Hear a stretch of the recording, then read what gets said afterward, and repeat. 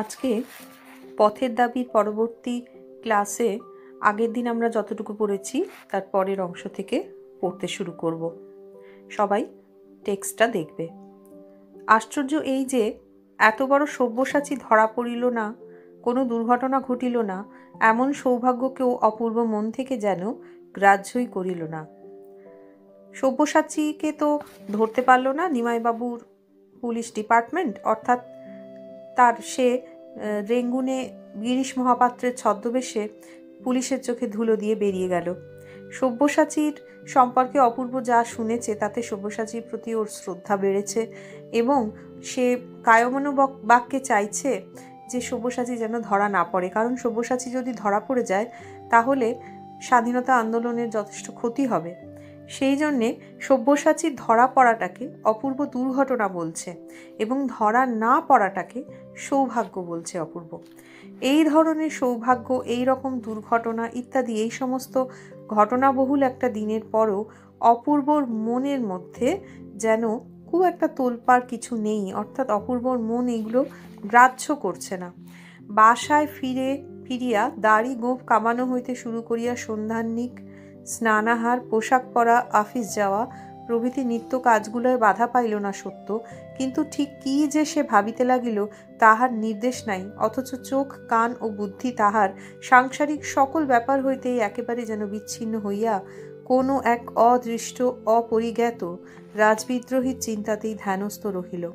বাড়িতে ফিরে অপূর্ব দৈনন্দিন যা যা কাজ থাকে, যেমন দাড়ি কামানো কিংবা সন্ধ্যাবেলা আন্নিক করা চান করে খাওয়া দাওয়া করা, পোশাক পরা, অফিস যাওয়া, সবই সে করছে। কিন্তু করতে করতে তার অলক্ষেই তার মনটা যেন কোনো এক অনির্দেশ্যের দিকে উধাও হয়ে যাচ্ছে। সেদিকে যেন কোনো ঠিকানা সে পাচ্ছে না। কোন দিকে যাচ্ছে তার মনটা? চোখ, কান, বুদ্ধি সমস্ত সাংসারিক ব্যাপার হতে বিচ্ছিন্ন হয়ে রয়েছে। সব কাজই সে করছে কিন্তু অন্য অন্যমনস্কভাবে, কারণ তার সমস্ত চিন্তা, সমস্ত চেতনা জুড়ে সব্যসাচী রয়েছে। যে সব্যসাচী অদৃষ্ট, যাকে দেখেনি সে, অপরিজ্ঞাত, যাকে চেনে না সে, সেই রাজবিদ্রোহী সব্যসাচীর চিন্তাতেই ধ্যানস্থ হয়ে রইল তার চিন্তা। অর্থাৎ সে সমস্ত কাজ করছে কিন্তু তার মন একেবারেই সব্যসাচীর দিকে ধাবিত হচ্ছে। এই অত্যন্ত অন্যমনস্কতা তলোয়ারকর লক্ষ্য করিয়া চিন্তিত মুখে জিজ্ঞাসা করিল, আজ বাড়ি থেকে কোনো চিঠি পেয়েছেন নাকি? তলোয়ারকর তার সহকর্মী সে যখন দেখল, অপূর্বর মন যেন কাজে বসছে না, যেন সে অন্যমনস্ক, তার এই অন্যমনস্কতা তার নজর এড়ায়নি, সে খুব স্বাভাবিকভাবেই ভেবেছে হয়তোবা অপূর্বর বাড়ি থেকে কোনো চিঠি এসছে, তাতে কোনো সংবাদ এসেছে, যে কারণে অপূর্ব এতটা অন্যমনস্ক। তলোয়ারকর অপূর্বকে তাই জিজ্ঞেস করছে যে, আপনার কি বাড়ি থেকে কোনো চিঠি এসছে? অপূর্ব অন্যমনস্কভাবেই সম্ভবত উত্তর দিচ্ছে, কই না, বাড়ির সব খবর ভালো তো? তলোয়ারকরের পরের প্রশ্ন যে, বাড়ি থেকে কোনো খারাপ খবর আসেনি তো? অপূর্ব এই প্রশ্নটায় আশ্চর্য হচ্ছে, কারণ সে তো আর তলোয়ারকরের মনের ভাব বুঝতে পারছে না যে তলোয়ারকর তার অন্যমনস্কতাটা লক্ষ্য করেছে। অপূর্ব আশ্চর্য হয়ে বলছে, যতদূর জানি সবাই ভালোই তো আছেন। রামদাস আর কোনো প্রশ্ন করল না, অর্থাৎ বুঝতে পারছে যে এই সাধারণ প্রশ্ন করে অপূর্বর মনের অবস্থাটা বোধহয় সে জানতে পারবে না। টিফিনের সময় উভয়ে একত্র বসিয়া জলযোগ করিত। টিফিনের সময় দুজনে একসাথে বসে খাওয়া দাওয়া করত।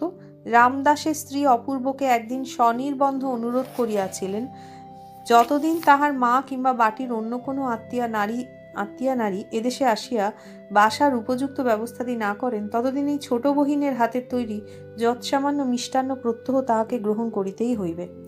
কেন একসাথে দুজনে বসে খাচ্ছে? তার একটা কারণ লেখক এখানে উল্লেখ করেছেন। রামদাস তালোয়ারকরের যে স্ত্রী, সে অপূর্বকে খুব অনুরোধ করেছিল, স্বনির্বন্ধ অনুরোধ করেছিল। যে যতদিন তার মা, অর্থাৎ অপূর্বের মা কিংবা তার অভিভাবিকা কেউ বা কোনো মেয়ে, তার বাড়ির কোনো আত্মীয়া, নারী এদেশে এসে বাড়ির মতো খাওয়া দাওয়ার ব্যবস্থা না করে দেয়, বাড়ির লোক ছাড়া তো বাড়ির রান্না সম্ভব নয়, ততদিন নিজেকে সে অপূর্বের ছোট বোন হিসেবে কথাটা বলে অনুরোধ করেছিল যে এই ছোট বোনের হাতের তৈরি যৎ সামান্য মিষ্টান্ন, অর্থাৎ সামান্য খাবার দাবার তাকে গ্রহণ করতেই হবে। অর্থাৎ এই বিষয়টার মূল কথা হচ্ছে যে রামদাসের স্ত্রী অপূর্বকে অনুরোধ করেছিল, টিফিনটা যেন অন্তত সে রামদাসের বাড়ি থেকে নিয়ে আসা খাবারটা দিয়েই করে। অপূর্ব রাজি হইয়াছিল। আফিসের একজন ব্রাহ্মণ পিয়াদা এই সকল বহিয়া আনিত। অপূর্ব ব্যাপারটায় অরাজি হয়নি। অফিসেরই একজন ব্রাহ্মণ পেয়াদা, অর্থাৎ একজন স্টাফ আর কি, সে এই সমস্ত খাবার দাবার বয়ে নিয়ে আসতো রামদাসের বাড়ি থেকে। আজও সে নিরালা পাশের ঘরটায় ভোজ্য বস্তুগুলি যখন সাজাইয়া দিয়া গেল, তখন আহারে বসিয়া অপূর্ব নিজেই কথা পারিল। এই ব্রাহ্মণ পেয়াদায় খাবার দাবারগুলো সমস্ত ভোজ্য বস্তু মানে খাবারের জিনিসপত্রগুলো, যখন একটা খাবার ঘরে, একটা নিরালা ঘরে সাজিয়ে দিয়ে গেল, তখন খেতে বসতে বসতে অপূর্ব নিজের মনের কথাটা নিজেই বলছে, তাকে আর কোনো প্রশ্ন করতে হচ্ছে না। কোন ঘটনাটা বলছে সে? কাল তাহার ঘরে চুরি হইয়া গিয়াছে, সমস্তই যাইতে পারিত কেবল উপরের সেই খ্রিস্টান মেয়েটির কৃপায় টাকা কড়ি ছাড়া সমস্ত বাঁচিয়াছে তার ঘরে চুরি ঘটে, চুরি যে ঘটনাটা, যার রিপোর্ট করতে, যার ডায়েরি করতে সে থানায় যাচ্ছিল, সেই চুরির কথাটা রামদাসকে সে বলছে। সে বলছে যে ওপরে সেই খ্রিশ্চান মেয়েটি, অর্থাৎ এখানে মেরি ভারতী জোসেফের কথা উল্লেখ করা হয়েছে, সে খুব কড়া নজর না রাখলে মেয়েটির কৃপাতেই বলা যেতে পারে টাকা কড়িগুলো গেছে ঠিকই, বাকি সমস্ত জিনিস কিন্তু বেঁচে গিয়েছে। সবই কিন্তু চুরি হয়ে যাওয়ার একটা সম্ভাবনা ছিল। সে শুধু চোর তাড়িয়েছে তা নয়, সে চোর তাড়াইয়া দরজায় নিজের তালা বন্ধ করিয়াছে। আমি এটা আগে পূর্বসূত্রে বলেছিলাম তোমাদের ঘটনাটা কি ঘটেছিল। ভারতী নিজেই তালা দিয়ে রেখেছিল তার ঘরে। আমি বাসায় পৌঁছিলে চাবি খুলিয়া দিয়া অনাহুত আমার ঘরে ঢুকিয়া ছড়ানো জিনিসপত্র গুছাইয়া দিয়েছে। অপূর্ব যখন বাসায় পৌঁছেছে, তখন চাবি খুলে অপূর্ব সামনে অনাহুত, অর্থাৎ না ডাকতেই আহ্বান করা হয়নি। তৎসত্ত্বেও সে ভেতরে ঢুকেছে, ঢুকে অপূর্বর যা কিছু জিনিসপত্র ছড়িয়ে ছিটে গিয়েছিল সে গুছিয়ে দিয়েছে। সমস্ত ফর্দ করে দিয়েছে। কি ফর্দ করেছে? কি গেছে? কি আছে? তার একটা নিখুঁত হিসাব করে দিয়েছে। যে বোধ, এত নিখুঁত যে বোধ হয় তোমার মতো পাশ করা অ্যাকাউন্ট্যান্টের পক্ষেও বিস্ময়কর। অর্থাৎ তলওয়ারকর, নিজে প্রফেশনালি অ্যাকাউন্ট্যান্ট পেশাগতভাবে সে হিসাব রক্ষক কিন্তু ভারতী এত সুন্দর হিসাব করে দিয়েছে যে বিস্ময়ের ব্যাপার। বাস্তবিক, এমন তৎপর, এত বড় কার্যকুশলা মেয়ে আর যে কেহ আছে, মনে হয় না হে তলোয়ারকর বাস্তবিক মানে খুব সত্য কথা এটাই যে খুবই তৎপর, অত্যন্ত কর্মকুশলা। অর্থাৎ কাজে সে অত্যন্ত দক্ষ, কার্যকুশলা মেয়ে এরকমটি অপূর্ব আগে কখনো দেখেনি। এছাড়া সব থেকে বড় বিশেষণ যেটা দিচ্ছে অপূর্ব, তাছাড়া এত বড় বন্ধু ভারতীকে সে বন্ধু বলে উল্লেখ করছে এই অংশটাতে। পুরো ব্যাপারটা শুনে রামদাস প্রতিক্রিয়া দিচ্ছে, বিস্মিত হচ্ছে সে নিশ্চয়ই। তারপর সে আরও জানতে চায়, অপূর্ব বলল তেওয়ারি ঘরে ছিল না। তেওয়ারি অর্থাৎ অপূর্বর চাকর। বর্মা নাচ দেখতে ফয়ায় গিয়েছিল। ফয়া নামক একটি জায়গায় সে নাচ দেখতে গিয়েছিল। সেটা অবশ্য অপূর্বর অনুমতি নিয়েই সে গিয়েছিল। ইত্যবসরে এই ব্যাপার মানে ঠিক এর ফাঁকেই এই ঘটনা ঘটেছে, চুরির ঘটনা, বাসায় তখন কেউ ছিল না। তার বিশ্বাস, এ কাজ ও ছাড়া আর কেউ করেনি। এই লাইনটা নিয়ে সকলের মনে অনেক দ্বিধা দেখা যায়। এখানে তার বিশ্বাস বলতে কার বিশ্বাসের কথা বলা হয়েছে? আমরা যদি পথের দাবি উপন্যাসটা পুরোটা প্রথম থেকে পড়ি, তাহলে দেখব এখানে তেওয়ারির বিশ্বাসের কথা বলা হয়েছে।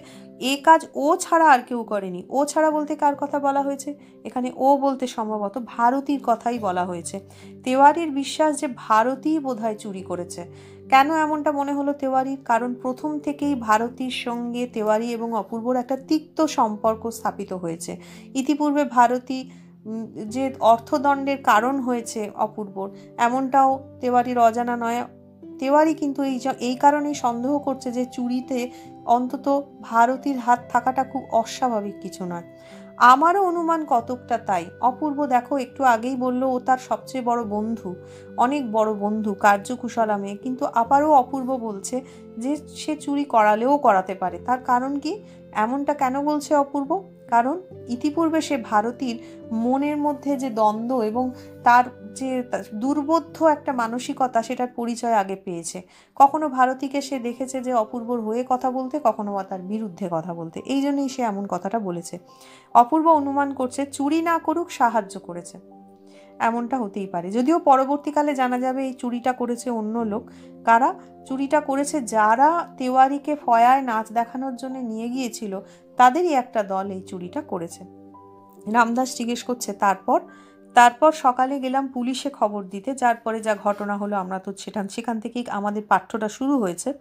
কিন্তু পুলিশের দল এমন কাণ্ড করলে, এমন তামাশা দেখালে যে ও কথা আর মনেই হলো না। অর্থাৎ তার রিপোর্ট লেখাবার কথা অপূর্বর মনেই থাকল না, যদিও অপূর্ব পরবর্তীকালে রিপোর্টটা লিখিয়েছে। এখন ভাবছি, যা গেছে তা যাক, তাদের চোর ধরে দিয়ে আর কাজ নেই।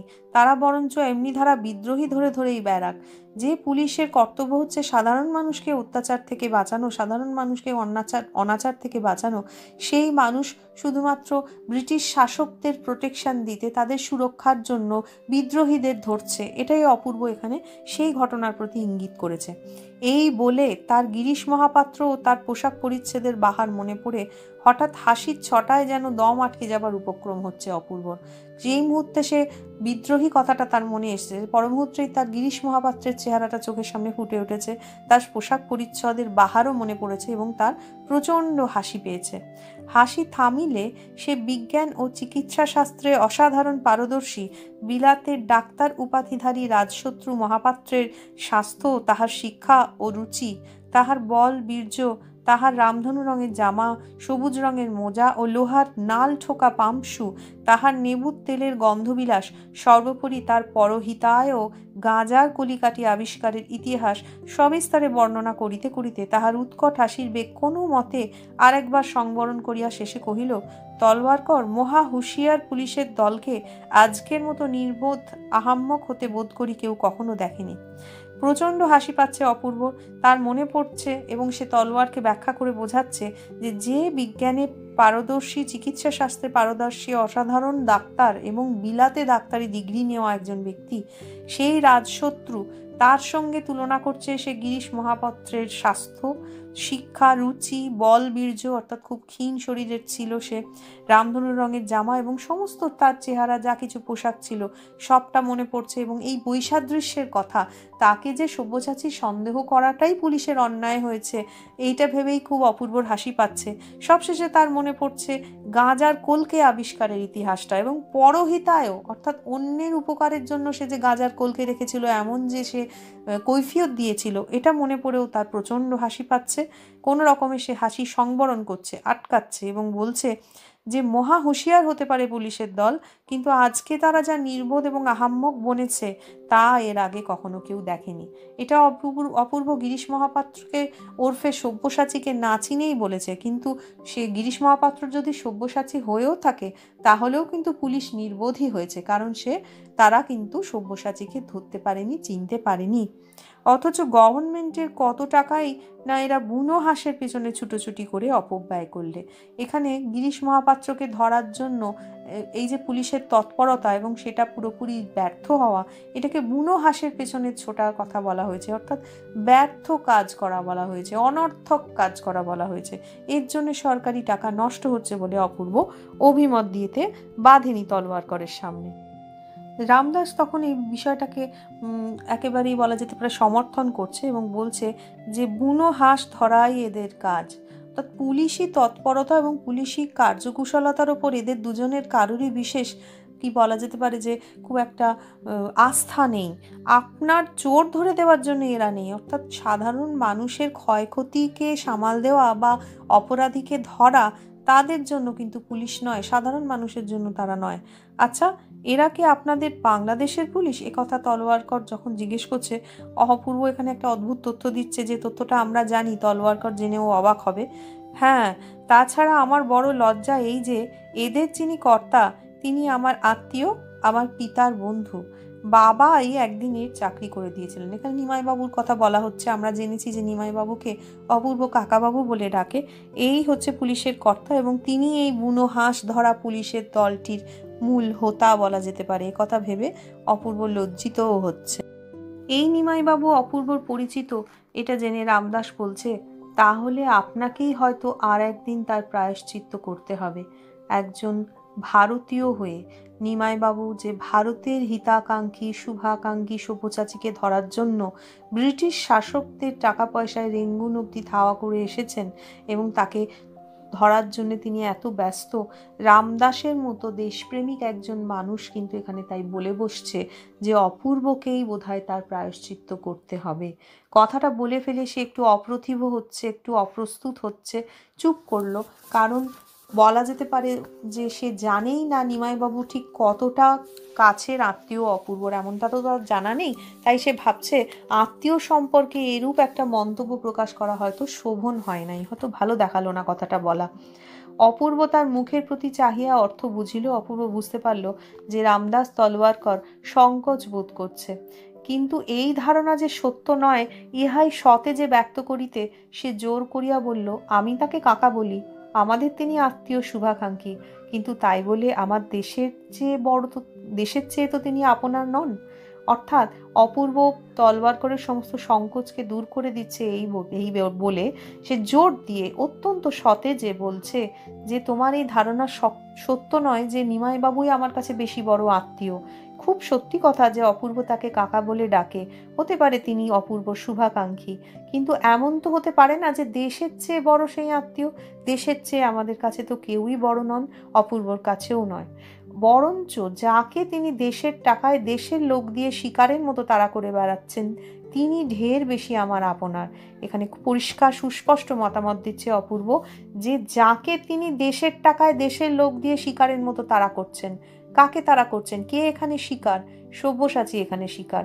অপূর্ব পরিষ্কার বলছে যে নিমাই বাবু যিনি কিনা দেশের টাকায় দেশের লোক দিয়ে সব্যসাচীকে শিকারের মতো তারা করছেন, সেই সব্যসাচী নিমাই বাবুর তুলনায় অনেক অনেক বেশি আপনার অপূর্বর কাছে।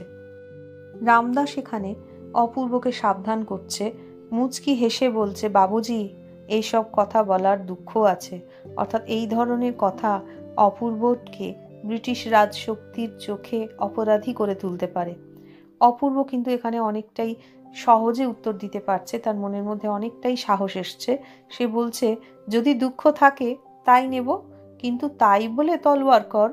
শুধু কেবল আমাদের দেশে নয়, পৃথিবীর যে কোনো দেশে, যে কোনো যুগে, যে কেউ জন্মভূমিকে তার স্বাধীন করবার চেষ্টা করেছে, তাকে আপনার নয় বলার সাধ্য, আর যার থাক আমার নেই। অপূর্ব বলছে, এমনটা হতেই পারে না যে দেশকে, দেশের দুঃখ মোচনের জন্য যে এগিয়ে এসেছে নিজের প্রাণকে তুচ্ছ করে, পৃথিবীর যে কোনো দেশে হতে পারে, যে কোনো যুগে হতে পারে, জন্মভূমিকে স্বাধীন করার যে সৈনিক, সেই মানুষের কাছে, জন্মভূমির অধিবাসীদের কাছে সব থেকে বেশি আপনার। এমনটা অস্বীকার করার কি উপায় আছে? বলতে বলতে কণ্ঠস্বর তার তীক্ষ্ণ এবং চোখের দৃষ্টি প্রখর হয়ে উঠছে। অর্থাৎ তার চোখের মুখে দেশের প্রতি ভালোবাসাটা সুস্পষ্ট বোঝা যাচ্ছে। মনে মনে বুঝিল, কি কথায় কি কথা আসিয়া পড়িতেছে, কিন্তু সামলাইতে পারিল না। বলিল, তোমার মতো সাহস আমার নেই। আমি ভীরু, কিন্তু তাই বলে অবিচারে দণ্ডভোগ করার অপমান আমাকে কম বাজে না, রামদাস। এই অংশটাতে দেখো যে সব্যসাচীকে দেখার পর থেকেই এবং রেঙ্গুনে এসে অবধি অপূর্ব যে বিভিন্ন ধরনের পরিস্থিতির সম্মুখীন হয়েছে, তার মনের মধ্যে অনেক তিক্ততা জমে উঠেছে এই পরাধীনতা সম্পর্কে। যদিও অপূর্ব বুঝতে পারছে যে সে যে কথাটা বলতে যাচ্ছে তাতে কথা থেকে অন্য কথায় সে চলে যাচ্ছে, প্রসঙ্গান্তরে চলে যাচ্ছে, কিন্তু সে সামলাতে পারল না। সে অবশ্যই তলোয়ারকরকে ঠিক চিনেছে, সে বলছে তোমার মতো সাহস হয়তো আমার নেই, অর্থাৎ তলবারকর যতটা সাহসী, অপূর্ব ততটা নয়, অপূর্ব হয়তো বা ভীরু। এবং খুব সত্যি কথা, পরবর্তীকালে উপন্যাসে আমরা দেখব তলবারকর অসম সাহসের পরিচয় দিয়েছে।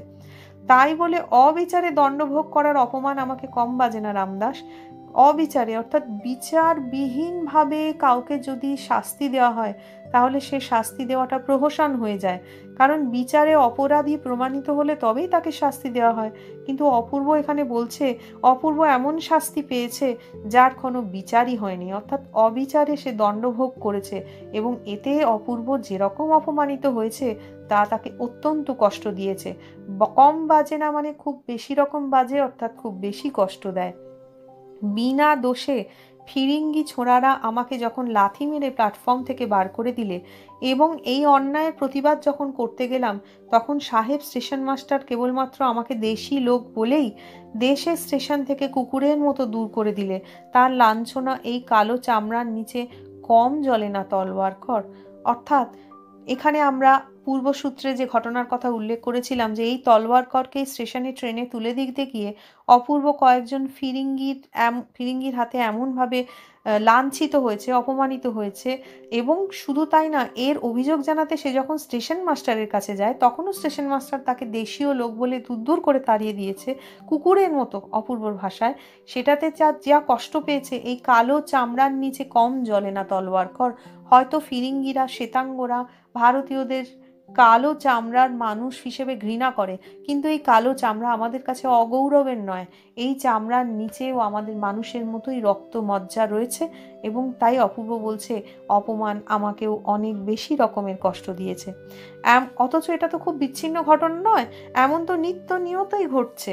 আমার মা, আমার ভাই বোনকে যারা এসব সহস্র কোটি অত্যাচার থেকে উদ্ধার করতে চায়, তাদের আপনার বলে ডাকবার যে দুঃখই থাক, আমি আজ থেকে মাথায় তুলে নিলাম। অপূর্ব বলছে, এই রকম প্রতিনিয়ত অহরহ কত না ভারতবাসী অত্যন্ত রকম অত্যাচারিত হচ্ছে, বিনা অপরাধে দণ্ডভোগ করছে।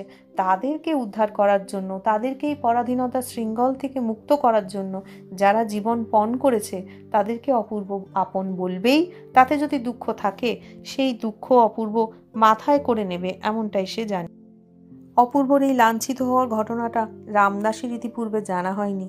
তাই রামদাসের সুশ্রী গৌরবর্ণ মুখ ক্ষণকালের জন্য আরক্ত হয়ে উঠল, লাল হয়ে উঠল তার মুখটা। বলল, কই, এ ঘটনা তো আমাকে বলেননি?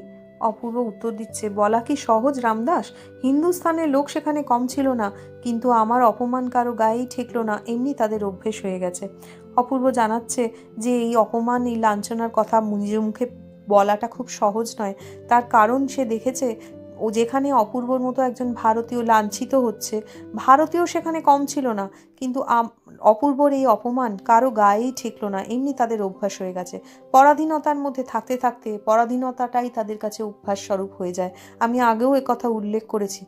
লাথির চোটে যে আমার হাড় পাঁজরা ভেঙে যায়নি, এই সুখবরে তারা সব খুশি হয়ে গেল। অর্থাৎ এটা যে একেবারে অন্যায় হলো এবং এর যে প্রতিরোধ হওয়া দরকার আছে, এমনটা তাদের কখনোই মনে হলো না।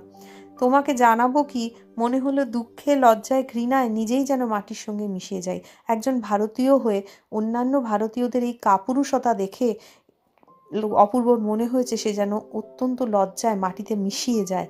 রামদাস চুপ করিয়া রহিল, কিন্তু তাহার দুই চোখ ছলছল করিয়া আসিল।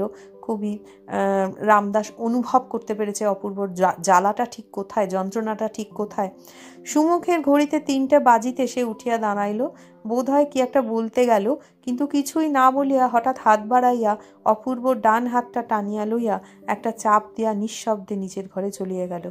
এই যে বিষয়টা রামদাস করল অপূর্বর হাতে হাত রেখে একটা চাপ দেওয়া, এটা অপূর্বর যে মানসিক অবস্থা তাকে সম্পূর্ণরূপে সমর্থন করা, অর্থাৎ তার চিন্তাভাবনা, অপূর্ব চিন্তাভাবনা যে একদম ঠিক দিকে যাচ্ছে, এই বিষয়টাকে সমর্থন করার জন্যই কিন্তু রামদাস এই কাজটা করল।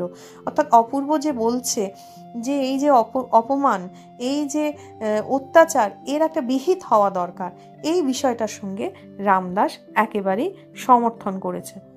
আজকে আমাদের ক্লাস এই পর্যন্তই। পরের ক্লাসে আবার আমাদের দেখা হবে।